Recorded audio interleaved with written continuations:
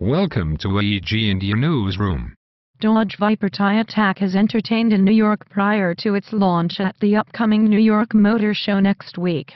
The Dodge Viper SRT Time Attack is a complete sports car which will amaze the riders for sure. The look of the vehicle is also too elegant and can steal the hearts of everybody.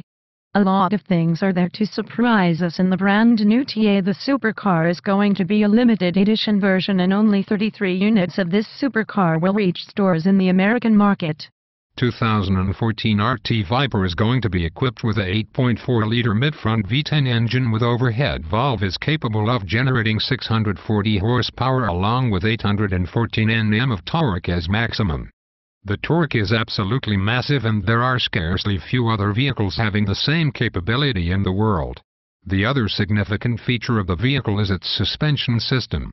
The two-mode Bilstein DampTronic suspension system gives the vehicle ability to move comfortably on pure racing tracks giving a smooth ride for the driver. The Sidewinder 2 multi-spoke alloy wheels used in the vehicle are very lighter and thus will help the vehicle to attain higher speeds with much ease.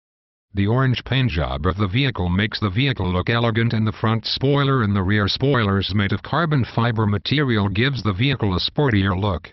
The torsional rigidity of the vehicle has been increased by a remarkable 50% by the use of carbon fiber to replace the aluminum X-brace.